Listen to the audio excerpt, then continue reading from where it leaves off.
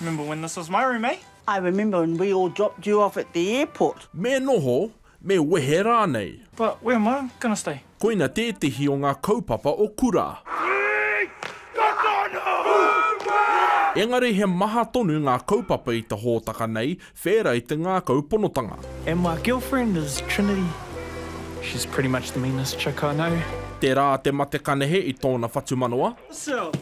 Ēngari ko te mea rere kē rawa o tēnei hōtaka ko te kōpapa kī pohapoha i te rauhea.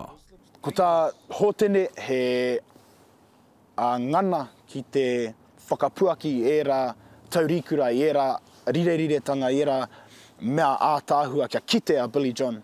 Ko te pukuhohe te waka ki te tūhura i ngā take hōhonu.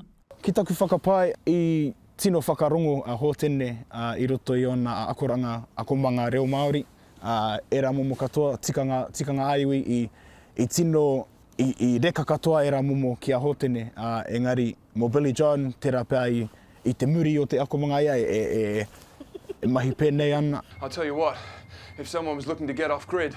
Kāre mātou e whāki te tāhū i tēnei terenga. The Hunua Ranges would be the perfect place to do it. Heoti anō, he mea pai kia noho ngā mātua i te taha o ngā tamariki. Bronson Petich, Te Karere.